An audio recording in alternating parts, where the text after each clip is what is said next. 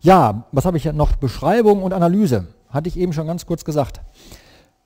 Algorithmen könnte man natürlich jetzt, hatte ich eben schon so angefangen, das so ein bisschen zu begründen. Wir könnten das formulieren in einer konkreten Programmiersprache.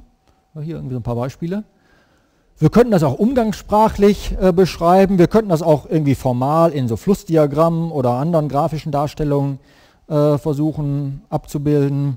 Oder halt in dieser Pseudonotation.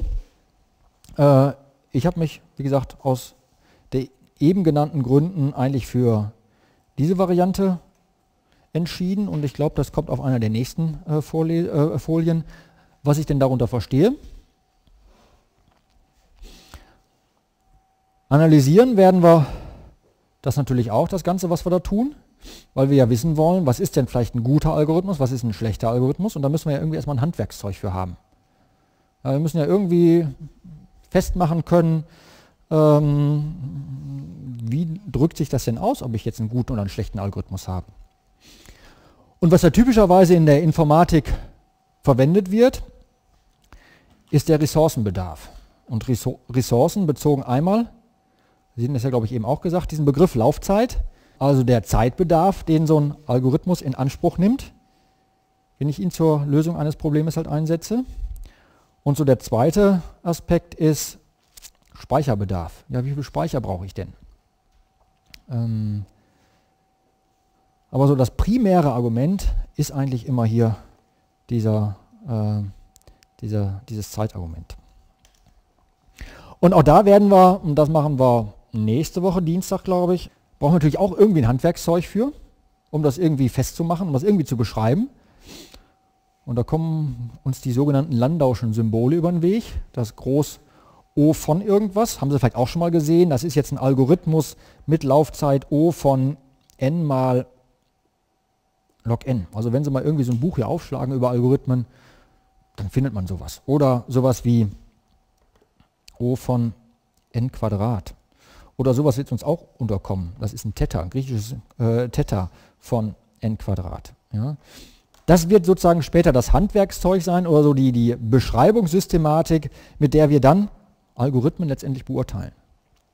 Nicht erschrecken, kommt nächste Woche dran. Ich hatte gerade schon gesagt, Algorithmen formuliere ich in Pseudocode. Das heißt, es handelt sich hierbei eigentlich um eine abstrahierte Beschreibung eines Algorithmus.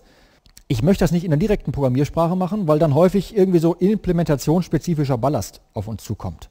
Ja, wenn ich dann irgendwie auf eine bestimmte Datenstruktur zugreifen will, dann brauche ich halt eine bestimmte Symbolik, um das zu machen. Dann brauche ich einfach irgendwie vielleicht zehn Programmzeilen mehr, als ich das irgendwie in so einer knappen Formulierung im Pseudocode machen möchte. Ja, aber das ändert letztendlich nichts an der Idee, die dahinter steckt. Und darum geht es mir in dieser Veranstaltung, dass wir uns eigentlich mit den Ideen beschäftigen. Das heißt für Sie natürlich, und das ist irgendwie ja, die Transferleistung, die ich von angehenden Informatikern erwarte. Ja, dass wenn ich Ihnen beispielsweise hier so einen Algorithmus in Pseudocode sozusagen hinwerfe, dass Sie sich Gedanken machen, ja, wie kann ich das denn in einer Programmiersprache implementieren? Ja, wenn ich Ihnen das jetzt hier beispielsweise dann exakt, syntaktisch korrekt in C, C++ oder irgendeiner anderen Programmiersprache präsentieren würde, ja, dann wird das einzig und allein darin bestehen, sozusagen die Leistung von Ihnen, dass Sie das, was hier abgebildet ist, irgendwie abtippen und das ist dann irgendwie ein bisschen wenig. Ich finde, dafür haben sie kein Bachelor-Zeugnis oder was sie dann irgendwann bekommen werden, äh, der Medieninformatik verdient. Ein bisschen nachdenken sollen sie ja auch, weil das kommt ja später im Job auch auf sie zu. Und das üben wir besser jetzt als später. Beispiel, das sieht dann so in etwa so aus. Habe jetzt irgendwie hier einen Algorithmus, in so einer Pseudocode-Notation, äh, ich möchte oder ich habe gegeben ein Array, ein Feld, bezeichnet mit A, der Länge n und ich suche jetzt einfach das größte Element in diesem Feld. Ich habe also jetzt irgendwie n Elemente in diesem Array drin, von A1 bis AN und ich suche das größte Element. Ja, und das sieht dann irgendwie so aus. Also ich sowas wie äh, syntaktische Feinheiten, wie ich muss jedes Statement mit einem Semikolon abschließen, wie man das in manchen, äh, manchen Programmiersprachen findet. Sowas machen wir hier nicht. Auch Klammerung oder sowas machen wir nicht. Wir kennzeichnen beispielsweise hier so eine Blockstrukturierung lediglich durch Einrücken. Ich verwende schon solche Konstrukte, wie man sie dann äh, wie man sie dann in, in Programmiersprachen schon findet, also sowas wie so äh, Kontrollstrukturen, Vorschleife, if-Anweisung oder ich möchte beispielsweise äh, zurückspringen aus irgendeiner Routine. Deklaration von Variablen ist mir völlig egal. Ich verwende Bezeichner wie hier dieses current max und kann dem alles zuweisen.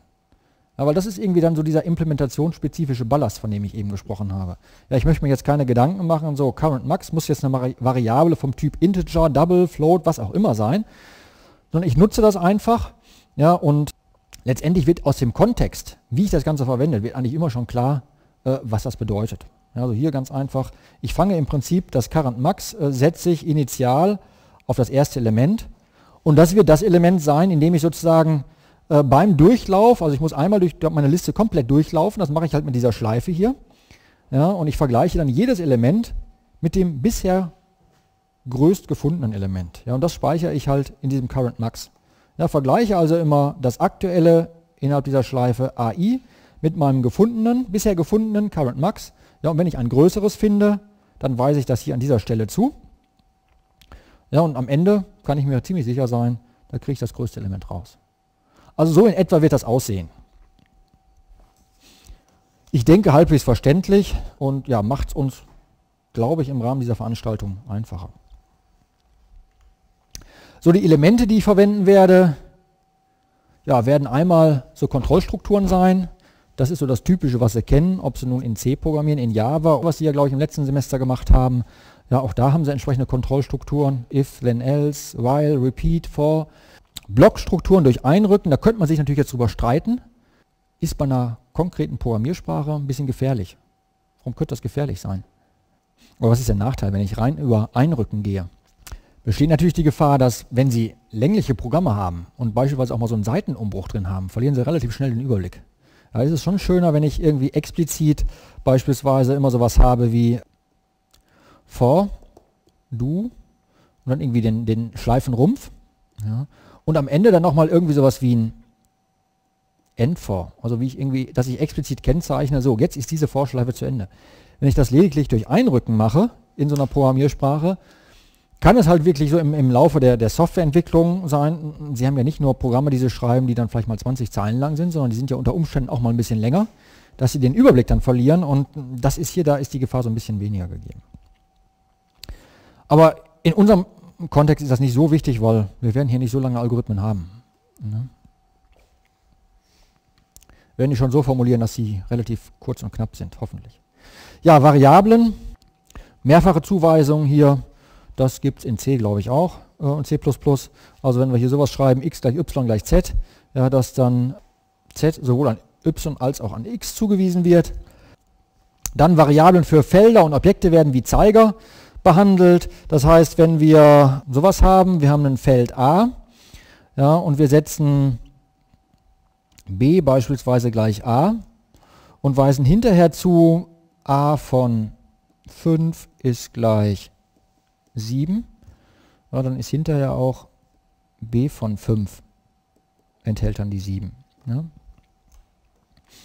Ja, oder wenn wir sowas wie ein Objekt haben, Objekt besteht ja meistens aus einzelnen Attributen oder Komponenten, ja, dann machen wir den Zugriff eigentlich auch über so geschweifte Klammern. Das habe ich natürlich in den Bereich geschrieben, in dem jetzt noch was eingeblendet wird. Oh, ganz gefährlich. Also da muss ich, wie gesagt, ist Neuland für mich hier, muss ich das nächste Mal darauf achten. Variablen sind immer lokal. Das heißt, wenn ich jetzt beispielsweise so eine Methode oder so eine Funktion angebe, ja, dann ist die Variable nur äh, lokal innerhalb dieser Methode gültig. Parametergabe Call by Value, was heißt das? Also es gibt diese beiden Strategien Call by Value, Call by Reference. Ja, und bei dem einen wird sozusagen Zeiger übergeben, bei dem Call by Reference und bei Call by Value, wenn Sie halt Parameter übergeben, dann äh, äh, ist sozusagen in der lokalen Variablen innerhalb oder in dem Parameter innerhalb der Funktion ist halt entsprechend der Wert eingetragen. Felder, ja, hatten wir eben auch schon verwendet, also verwenden wir einfach den Zugriff auf einzelne Feldelemente durch so eine Indizierung hier. Sowas verwenden wir auch. Ja, das ist ab und zu mal ganz hilfreich, um gewisse Dinge darzustellen, wenn ich beispielsweise ein Teilfeld darstellen möchte. Also ich habe beispielsweise ein Feld A1 bis n. Ja, das ist irgendwie ein Feld von ja, 1 bis n Elemente. Ja, und dann greife ich mir einfach mal so ein Stückchen hier raus, A von i bis j. Dann meine ich damit immer das ganze Teilfeld. Ja, also letztendlich eine Folge von, von Elementen. Indizierung typischerweise von 1 bis n. Hm. Ganz spannend, hat das schon mal jemand gehört? Auswertung von äh, Ausdrücken, insbesondere Boolsche Ausdrücke, Lazy Evaluation. Bei den Boolschen Ausdrücken, genau, das sind äh, Ausdrücke, die zu True oder False evaluieren. Wenn Sie sowas haben, wie heißt es bei C? Ich glaube, das ist ein doppeltes und, ne?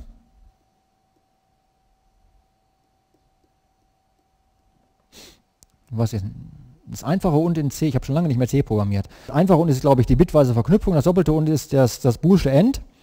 Was macht denn Compiler? Das wissen Sie aber, ne?